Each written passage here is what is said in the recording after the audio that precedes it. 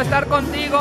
Una telenovela con gran éxito que se proyecta a nivel internacional. ¿Cómo te sientes? Estoy muy contenta, es un proyecto padrísimo que que ha tenido muchísimo rating y le ha gustado mucho a la gente, entonces estoy muy orgullosa de participar en un proyecto así. Mucho se habla de las telenovelas de Sudamérica que nos han ganado un poco de terreno. ¿Tú cómo ves eso? De las telenovelas Que nos han ganado un poco de terreno. Sudamericana. Sin duda creo que este proyecto es un proyecto que está muy bien hecho, está muy bien escrito.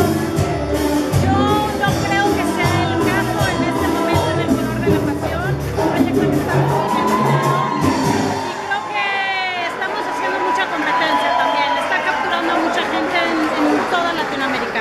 Ahora en Plaza de las Estrellas, ¿qué te dice a ti este concepto en donde se puede reunir un gran número de prensa? Pues es maravilloso siempre estar cerca de la gente, espacios para poder conectarnos con la gente y, y saber su opinión directamente, me parece que es una maravilla para cualquier actor o actriz. Pues muchas felicidades por tu aportación a la televisión mexicana y es un gusto saludarte. Muchísimas gracias.